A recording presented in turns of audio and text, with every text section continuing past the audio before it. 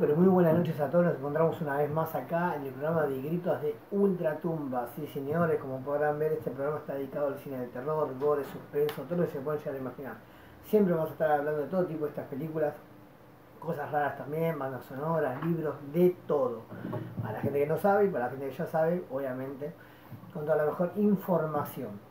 Así que bueno, antes que nada quiero decirles una cosa. Este, los videos que yo subo en el programa, algunos ya están editados anteriormente y otros los voy, los voy editando en el momento, porque algunos me han cruzado un poquito más fácil y otros ya los voy adelantando por el tema de la información que tengo que conseguirles. Obviamente hay cosas que, me han fallado de, información, este, las tengo que conseguir nuevamente, u otras que ya me las acordé muy de memoria. Pero bueno, este, por eso hay videos que los voy haciendo en el, en el momento y otros que ya los vengo editando de hace mucho para subirlo. Y justamente quería hablarles el tema de Scream. Estaba para editar el tema del video de Scream, que ya estaba editado y lamentablemente no sé cómo lo perdí en la computadora, se me borró que y no lo pude subir. Así que lamentablemente, bueno, más, más adelante voy a volver, voy a hacer de nuevo el video de Scream con tiempo de nuevo, otra vez todo de nuevo, pero bueno, tranquilamente y después lo subiré. Así que bueno, por eso les digo si me ven en un otro video que estoy cambiado el look y todo eso, porque bueno, ya saben, estos videos están la mayoría ya están grabados anteriormente y otros que no. Así que bueno, antes que nada, este, bueno, quería aclararles eso por las dudas. Y bueno, hoy vamos a hablar de una película que no es de terror, sino de mucho suspenso. Esta película está dedicada, va, dedicada no, es justamente, se lo prometió una amiga mía, a Mariela, si está viendo el programa, esta película te la prometí hace rato y te la recomendé justamente porque quería que la vieras. Vamos a hablar nada más ni nada menos que la, la película, como lo pueden ver acá, en el wallpaper Duel. Sí, señores. Acá el wallpaper. Acá les pongo la apartada Duel. Una película de 1971. Sí, señores, 1971. Esta película es un clásico. Estuvo una joyita perdida por ahí, sinceramente. Este, bueno, acá tengo mi machetito por la duda para no perder ninguna información de nada. En 1971, nada más ni nada menos, este, dirigida por Steven Spielberg, como lo pueden ver acá. La película se estrenó, acá lo tiene el director un genio, la película se estrenó nada más ni nada menos que el 13 de noviembre de 1971. Sí, es una película de suspenso, pero suspenso en todo sentido, de que te pone los pelos de punta, sinceramente hasta todo el tiempo tipo ¿Me No, es que sea aburrida ni nada, así arranca la película todo, pero te estás todo el tiempo así diciendo, ¿qué carajo, me entendés? O sea, no, no puede ser. Es una película muy, pero muy recomendada, obviamente. Este, los actores principales de la película son, ya les digo acá para que tengan una idea, eh, son nada más ni nada menos que eh, Dennis eh, Weber, no, perdón, Dennis Weber, así, acá lo tienen, como pueden ver es el actor principal de la película, lo que es la trama en sí. Y les voy a poner este, el otro actor que nunca se lo ve en realidad. sí, no se lo digo, pero bueno, ahora les decir por qué no se lo ve. Se llama Carey Loftin, como lo pueden ver acá. Este es el actor, el villano, digamos, de la película, que nunca se lo ve. Se los adelanto esto porque se van a preguntar dónde carajo está el tipo y no está el tipo. O sea, ahora les voy a explicar por qué no está el tipo. Así que bueno, esta película, que me pica el ojo, pero bueno, una. Este, esta película fue una joyita perdida eh, de Steven Spielberg, porque hoy en día es un clásico esta película. Lamentablemente antes este, como que pasó, digamos, ¿no? muy desapercibida, ¿no? Obviamente. Y hoy en día es una película muy de culto, muy de clásico. Es una película que desde donde arranca hasta donde termina tiene mucho suspenso, al final es muy bueno también, y la desesperación del actor fue increíble la actuación que hizo y todo momento este, lo que es la película. O sea, que te persiga un tipo con un camión en toda una ruta no es nada agradable, ¿no? Que no te dejan en paz. Imagínense que ya puteas en la autopista, ya estás puteando y la ruta también, y un loquito te persiga, no es nada agradable. Así que esta película se basa justamente en eso, obviamente.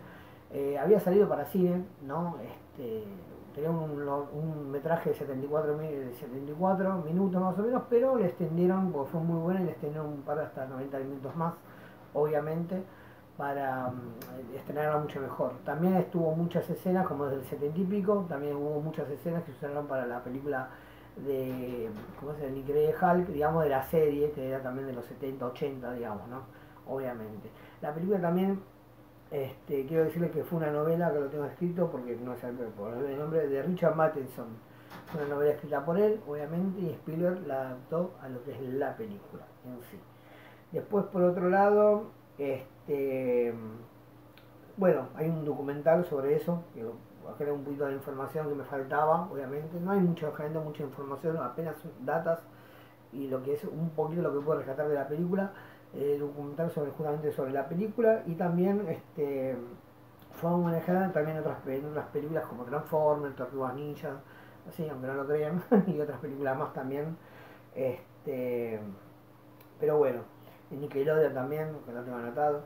Este, y bueno, la banda sonora también se puede escuchar una parte de lo que es el ruido del camión, también se escucha en la película de Tiburón, obviamente. Lo que trató de Spielberg, comparó la película esta y Tiburón, es el tema de el acecho de algo que se está, o, sea, las comparar las dos, digamos, también, porque Tiburón también es vieja, una película vieja, y muy buena de Steven Spielberg, y que te persiga, digamos, ese asesino minucioso que nunca se lo ve, que nunca, que está siempre ahí, y te persigue en todo momento, y no sabes qué carajo, quién carajo es, qué carajo pasa, lo que, lo que sea, qué carajo sea, es así de simple. Así que bueno, este, y las comparó, esa película están, él mismo las comparó con el sentido de ese suspenso que te da, obviamente. Ahora le voy a explicar por qué no aparece este, el conductor. Bueno, es así, el conductor, digamos, un camión viejo, un trailer viejo, obviamente, eh, una cisterna, tiene en realidad como una especie de cisterna el camión, eh, y nunca se lo ve al hombre, nunca se lo ve en toda la película. Justamente ese es el suspenso que te debe decir quién carajo es el tipo del camión la tienen que ver, es así de simple. Pero bueno, por eso mismo le puse la foto para que vean el actor, justamente dije, ¿quién es el actor que hizo del camionero? Bueno, tuve que buscar imagen para que vean el tema del actor del camionero, obviamente, ¿no? Este, también, también, acá los puedo poner, ese es un cómic que se basaron también en un cómic de la, de la película, que también, así como bueno, pueden ver acá está la portada, obviamente. Este, después también quiero darles una data muy importante sobre esta película. Hicieron un reboot, una remake, digamos, de la película de esta misma, El Duelo, ¿no? Eh, bueno, Duelo, este, el diálogo sobre, ruedas también, o como lo quieran llamar, este, que se llama Breaker, se llama así, es de 2015. Lo que que le pongo el póster para que vean este del 2015, ¿no? Acá les voy a poner, mírenla, acá tienen el póster o otro póster más, digamos, de lo que es este Duel y esta Breaker del 2015, para que vean. Bueno, acá las tienen, se las pongo las dos portadas para que las puedan ver bien. Esta película fue una remake misma del 2015, hace una referencia, pasa a es la misma historia, por decirlo así, la diferencia que, acá lo tienen, acá tienen la foto, se les va a mostrar, este es el auto de la película con estas dos chicas, que son las protagonistas ¿no? de la película. Este, bueno, son las actrices principales de la película. Pero ¿qué pasa? Este, hace una referencia, acá les pongo la imagen para que vean, si lo ven bien, acá me parece que los chicos están andando y viene el camión, los, se encuentra con el camión, pero también tiene un remolque, está remolcando algo, está remolcando justamente el mismo auto, ¿no? Como pueden ver de la película El Duelo, o sea, el duelo, ¿no?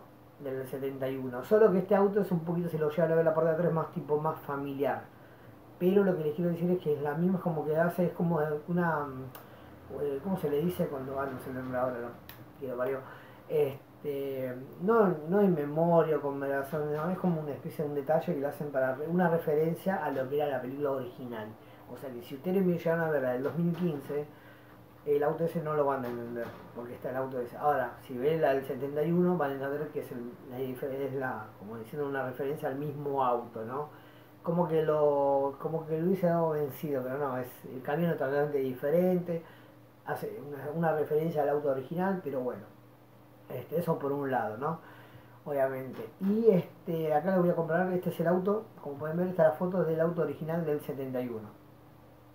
Así que bueno, ven la diferencia totalmente, acá les pongo los dos, los dos autos como son, para que vean la diferencia que hay entre uno y otro. Yo la verdad, la del 2015 la vi, sinceramente, bueno, tiene sus cosas, lo que sea, pero la verdad me quedo con la original, esta película que es la original, ¿no? Reto a la muerte, el diablo sobre ruedas o duele, como lo quiero llamar, que es de 1971, que es recomendable, por favor mírenla. Si vieron Mad Max la 2, la escena que está con el container también, justamente, el, el, sí, el trailer de la cisterna, que lo están persiguiendo al loco, bueno, si vieron Mad Max 2 y les gustó esa escena que fue formidable, bueno, ah, de cuenta que están viendo exactamente lo mismo. La gente que no le gustó Mad Max 2, bueno, recomiendo que vean esta película. Pero el que la vio se va a sentir identificado de esa escena porque es muy, pero muy buena. Todo el suspenso que tiene, todo el, digamos, la trama en sí. Así que bueno, quería comentarles justamente eso, lo que es el 71 y un pequeño remake que hicieron que para mi gusto, bueno, es una remake, no, no, está bien, está, tiene sus cosas bien, pero me quedo con la original, sinceramente, en todo sentido, me quedo con la original por un par también de efectos especiales, que estamos en el 2015, y en esta Breaker del 2015 hubo efectos que no, no le voy a contar el final ni nada, pero mírenla porque hay partes que dicen, nada, no puedo haber hecho eso con la computadora. Así imagínense. Y la del 70 tiene otro estilo, otra metáfora, digamos, otro, otro suspenso, digamos, ¿no? Esta más tipo, bueno, típica minita que lo percibe un loquito, pero bueno, ¿qué se la va a hacer? Para mí se han puesto una remake con un tipo, no es por desprestigiar ni nada, obviamente, pero bueno, quisieran hacer algo más actualizado diferentemente. Así que bueno, gente, este programa es muy, muy cortito, obviamente. Lo que sí, este... Ah, esperen, les tengo que mostrar las portadas Miren, acá les muestro siete portaditas, como pueden ver.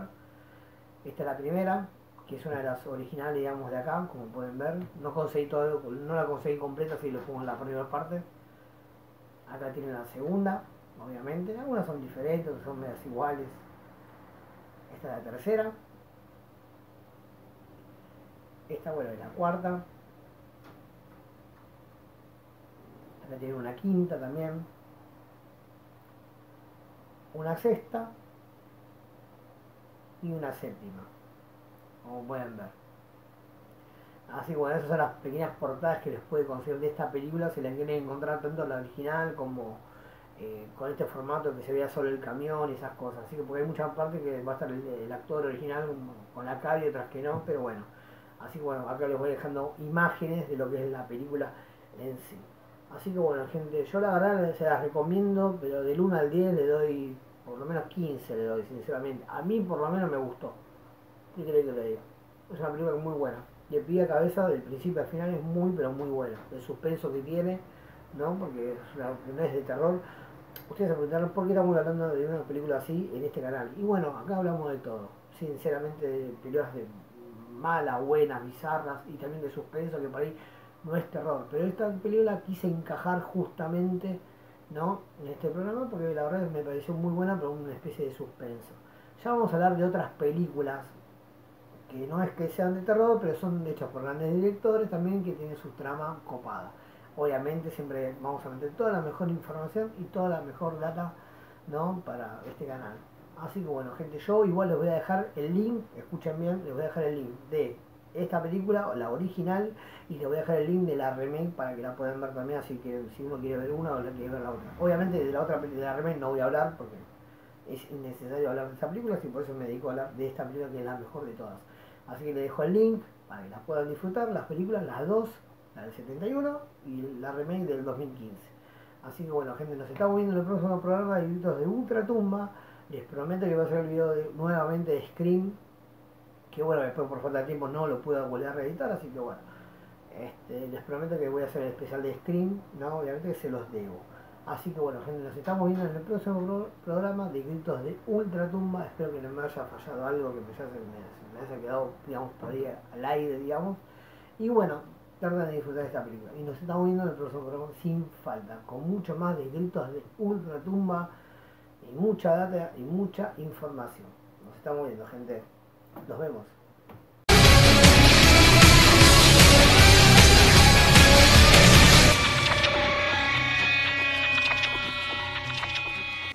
We'll tear your soul apart.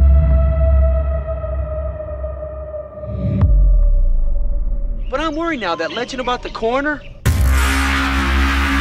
Nobody ever got killed by a legend back in a flash. And if I'm not, don't come looking for me.